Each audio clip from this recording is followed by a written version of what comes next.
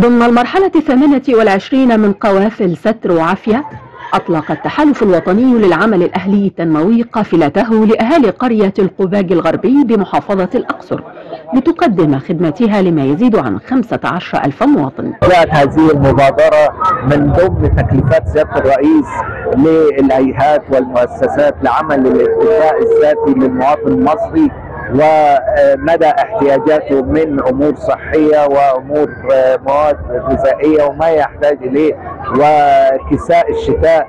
القافلة التي شارك في إعدادها وتنظيمها 17 كيانا من كيانات التحالف الوطني للعمل الأهلي التنموي ضمت حزمة متنوعة من الخدمات للمواطنين.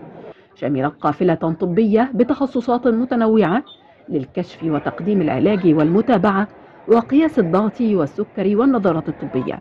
كذلك تركيب الأجهزة التعويضية وتقديم خدمات تنظيم الأسرة والتوعية بالصحة الإنجابية. القافلة دي مميزة في إنها بتقدم خدمات متنوعة لمواطني محافظة الأقصر وبالذات في منطقة أو في نجع النباح الغربي. يعني إحنا عندنا بتضم قافلة طبية بتقدم التخصصات الطبية المختلفة والمتنوعه إذا كان بطنه جراحة أطفال نساء مسالك.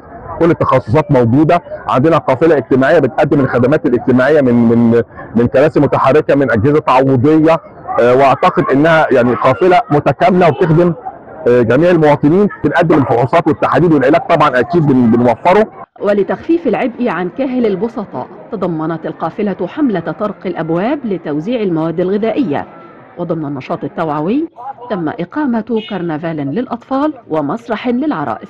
كما شملت القافلة المساعدة في فك كرب عدد من الغارمين والغارمات ونشر ثقافة التطوع ضمن حملة الفريق الوطني للتطوع. من خلال القافلة دي بنقدم عدة خدمات متمثلة في مؤسسة مصر بخير بتقدم عدد أنشطة اللي هو تسليم مشروعات توليد الدخل وده عبارة عن مكن خياطة بالاقمشه اللي هي بتبقى موجودة معاه.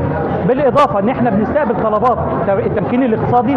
في عندي الغارمين بنعمل توعية للغرب وأضراره وإن إحنا إزاي نتلافاه. وفي عندنا كمان بنستقبل حالات الغارمين علشان نحلها.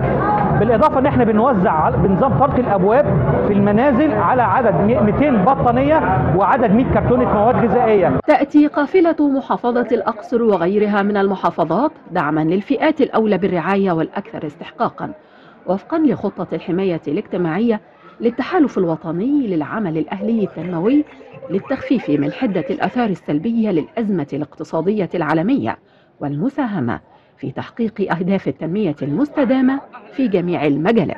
سوزان مصطفى النيل للأخبار.